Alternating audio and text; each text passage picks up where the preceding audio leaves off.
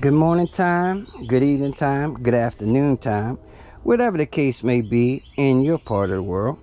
ChrisCrossing wires, and uh, today I got something interesting for you. Uh, you know, I had did a video talking about uh, bypass batteries and battery fires as far as those bikes catching on fire in group rides from stock batteries or inexpensive batteries with the BMS's bypass and guys using high power controllers. I don't mean Sabvotons or anything like that, regular controllers. I mean stuff like BAC 4000s and above Fardrivers, anything capable of pulling uh, more than 200 amps of DC line amps, uh, you know, roughly 300 DC line amps and over. Okay, and I also said the reason why those bikes were catching fire on group rides, just like I said, guys running high power controllers with batteries that aren't capable of supplying that amount of current. Now, most batteries, stock batteries, you know, you may bypass them if you have a controller that's exceeding that battery BMS rating, maybe by 50 amps, something like that. But it sh I should have also have stated in those videos, you know, you, you can exceed them by a little more than that, but you would only want to do something like that for perhaps race purposes only because a race is maybe 15 30 seconds at the most you do not want to bypass BMSs using high power controllers if you're going to be demanding a lot of current flow from those batteries for long periods of time. Because most of those batteries have 18650s the average 18650 is only capable of 10 amps discharge some 15 amp 20 at the most. But 18650 10 to 15 amps discharge rate tops. So you have guys with batteries, 18650s, 10P batteries. So that's 10 cells that can comfortably discharge 100 amps comfortably. And they're trying to extract up to 300 amps from those batteries for long durations in the summertime on long distance group rides. Those bypass batteries with small cells, those cells are going to heat up because you're, as I keep saying over and over to stress that point, you're trying to get two and three times the current out of those cells. All right. So they heat up and eventually they get hot enough especially with it being summertime, especially being enclosed in the battery compartment, thermal runaway will happen. Without a doubt, at some point. May not happen the first time or the second time. You may be lucky, but at some point on one of those rides where you're demanding lots of power for a long time, it's gonna happen. So, I do real world tests on stuff because I happen to have stuff laying around where I can do tests. Now, like this battery here, uh, I was getting ready to do a bypass on it once I wanted to see what the actual cells. First thing you want to do when you bypass a battery is you want to see what kind of cells are actually in the battery. What the battery can actually handle comfortably. Look the cells up, see the discharge rate multiply that times however many P the battery is, and you know what that battery can comfortably handle. All right, now being as though I knew I was going to bypass this battery for a little project that I'm working on, uh, I wanted to see and if the if the BMS was going to actually do its job. Now on the label of this battery, the BMS said it was a 100 amp BMS. Okay, so how did I test that? Uh, I hooked it up to the Beast. I disconnected the Beast's battery system. I set the control, set my controller to 150 amps and said, let's see if it trips the BMS. Okay, now initially it didn't trip it, so I rode a little while, maybe like three or four minutes, uh, pulling 150 amps. Uh, I even used my amp probe to see what I was actually pulling. And uh, yeah, after about five minutes, it tripped the BMS. And I was standing over there because this BMS has a little beep tone. You can hear it. So this BMS, I'm not sure what type it actually is because it's in Chinese. Whatever the case, this BMS is actually working and doing its job as it should. I attempted to extract more than 150 amps and I mean well it's 100 amp BMS I attempted to extract 150 amps and uh, as you can see it tripped the BMS all right? So uh, now what I was going to do actually I'm sorry I'm speaking wrong thing. There's a 150 amp BMS and uh, I went above 150 amps. I went to 200 and then it tripped the BMS all right my bad. I talk about so many batteries and stuff and different batteries I, I forget sometimes. Say the wrong thing. Slip of the tongue. But 150 amp BMS at 200 amps it tripped it as it should. That is a proper functioning BMS uh, I wanted to also do a test to try to overcharge it and see if that would uh, trip it what I'm going to do is I'm going to uh, cut this Kapton tape open it up see if I can reset this BMS uh, by you know disconnecting the power and everything and reconnecting. Sometimes that will reset the BMSs but that's the only way you can do it once that happens. Some of them have a little button uh, in there that you can reset them uh, some of them once some of them the BMS uh, it just blows the little diode or whatever they have in there controlling the current. And once that blows that's it for the BMS it won't work anymore. That's usually the case. Uh, that is that's a good BMS as well because you shouldn't be able to reset it. If you were doing something stupid that causing it to trip uh, the average person if they can reset it they will continue to do something stupid. So some of the BMSs when they trip that's it done deal. Battery will not work anymore unless you you know remove the BMS and put your leads directly to you know uh, the main battery positive and the main battery negative. Um, let's see. Let's see if uh if I can uh, I should have I should really have uh, a little razor knife or X-Acto knife or something but uh, these scissors will work since I can see through this tape. I know I'm not uh, shorting anything.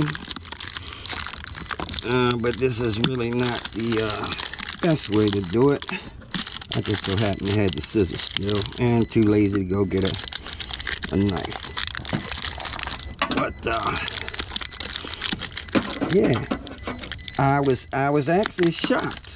But this this is not really a super cheap battery uh, this battery actually had labels and everything on it. Uh, Chinese couldn't understand what they were. But, uh, you know, I've seen a lot of batteries that don't have labels, don't have anything in them. The super cheap batteries won't say a damn thing.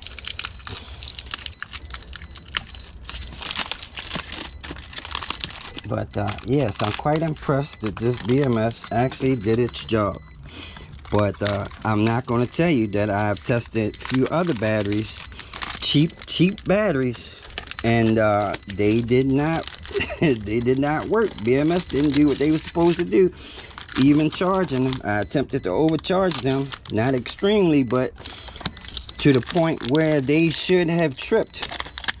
You know that's that's the main thing you want a BMS to work for uh, overcharging now, people wonder how batteries get overcharged, and I can tell you, uh, it happens accidentally all of the time. That is because people have more than one PEV.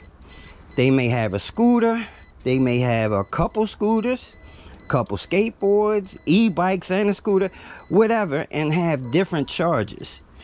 different chargers. However, most chargers have one or two, three connectors, XT60s or, uh, damn, XT90s or the, uh, the other ones with the three prongs. I can't think of it right now, the term for those. But anyway, uh, chargers don't use a whole bunch of different connectors. A lot of them use the same one. And you can accidentally, when you have multiple PEVs, grab the wrong charger now you put a 72 volt charger on a 48 volt battery and guess what's going to happen? Yeah, it's definitely going to overcharge. Now, if the BMS is doing this job, as soon as you plug up that 72 volt charger, it should tri trip that BMS. However, if that BMS is not doing its job, you will plug up that charger, it will start charging, it, the BMS doesn't shut it down and those batteries will charge till they hit 48 volt battery when they hit 52.2 uh, and keep going past that the BMS doesn't shut it down.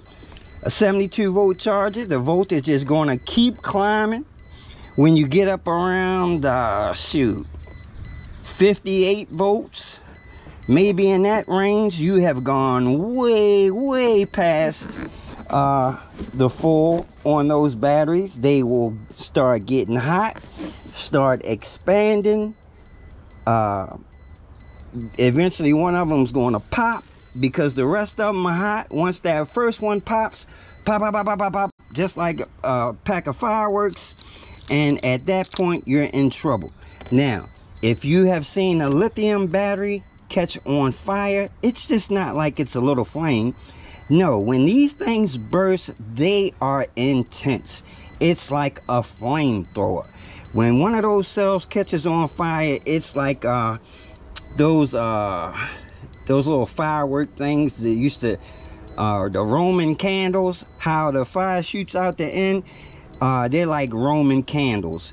And guess what is they come out the fire comes out with that intensity until all that energy is burned. The bigger battery pack you have the more extreme that fire is going to be. You got a big old 40 amp hour battery pack with 21 700s you are not going to extinguish that fire. Uh, a fire extinguisher might uh, you know uh, smother it temporarily until that extinguisher runs out. When that extinguisher runs out guess what? It's going to flame back up. That fire is not going to subside until all the energy burns out of those batteries. All right? Now some people try to you know at that point when it's already on fire yeah you can you can uh, try to put it out with water at that point they say don't use water because lithium actually goes crazier with water but if we're talking about a battery that's in thermal runaway it's already a little too late for that. So i advise you yes get a hose with some water and you're going to have to keep water on that until all that energy is gone. Uh, disregard what they tell you about. They say don't use water nah don't put water on lithium batteries that are not in thermal runaway because if they're not on fire and the water gets to the lithium it will ignite. But if it's already on fire yeah put some water on that damn thing. Anyway guys uh as far as this let me show you if you're to bypass this battery let me see what we got over here.